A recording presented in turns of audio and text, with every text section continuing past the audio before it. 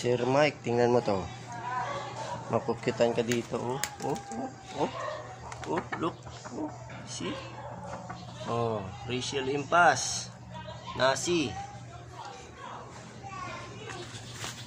May mga maliliit na. Cut, oh. Oh. Ayun pa isa, oh.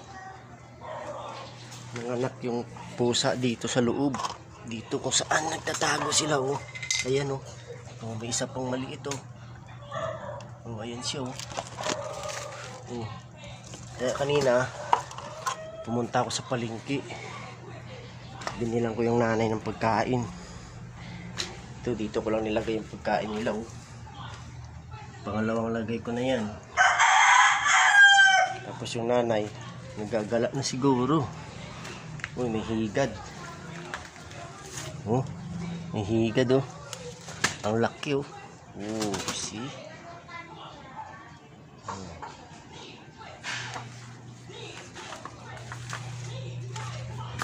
atin tirahin.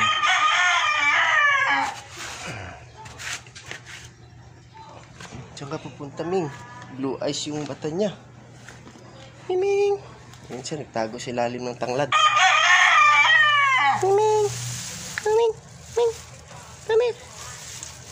Ming! Ming! Ming! Takot siya, oh. Ganda ng mata niya. Uy, nag-beautiful eyes pa. Ming!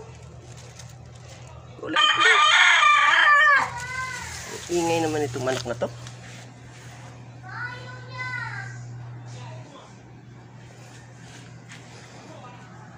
Ano isa? Oh, yan pa isa. Oh. Ayan. oh. Tanggalan natin ang damo yung mga ano. Isang isa. Uy, mayroon pa isa doon. Ang dami nila. Lima yata sila piraso.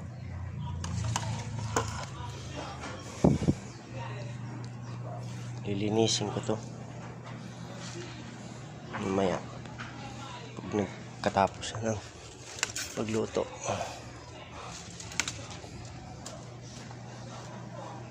Ito yung isang katabi ko. Parang mulat sa pool, hindi pa pinuntahan ng may-ari. Kaya yung bahay, abandonado pa. Oh. Sarado pa, walang tao.